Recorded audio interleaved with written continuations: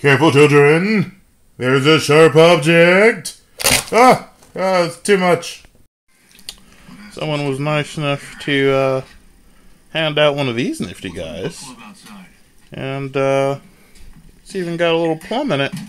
I'm definitely keeping the shot glass, that's for sure. Um, not sure how to open it though. See how this works now. Must pry up on this top. Just that was a first. smells really sweet. And it ain't so bad. Got a little plum in there. Hmm.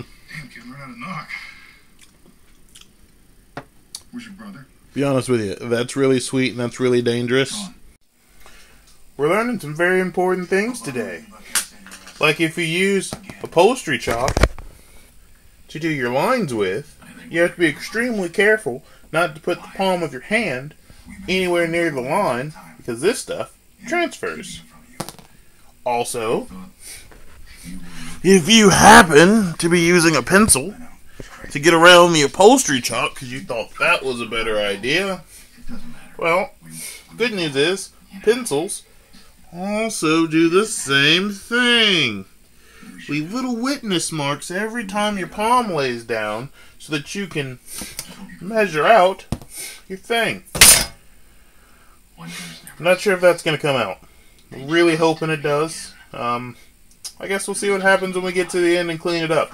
But uh, you got to put lines on this somehow, and ink is a no because ink bleeds through, and then it bleeds. So ink's a no. We know that.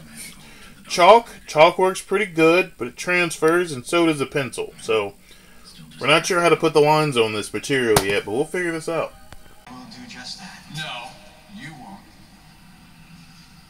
Bruce Springsteen, Eli Manning, our own little Charlie. You know what they are? Irreplaceable. You're more of a Tim Tebow, Joe Biden type. You got no spark in you. In fact, there's nothing in you. Well, it's got lines on it. I think the most responsible thing to do now is go take a shower and then go make a parts run.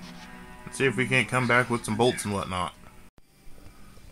Well, we've never really done this before. This is this is a new one for the books. Uh, but as we are not super rich, we put some lines in some fabric, put some glue on it, and then we started turning those lines into these things. And well, they're not perfect. They're far from perfect. In fact, right there specifically, that spot. But hopefully, it won't be too terrible once it's finished. Well, I've never never done something like this before, but I don't like it. There's several mistakes in this piece that are going to bug me. But other than that, I don't think it came out too terribly bad. For a first time, first time go at it. Nice little old, well, it's hard to tell. It'll look better once it's all sized. Hey, kind of the, yeah. That's going to take a little bit of work to get it to fit in there, but I think it does not too terribly bad considering they didn't have a pattern to start from.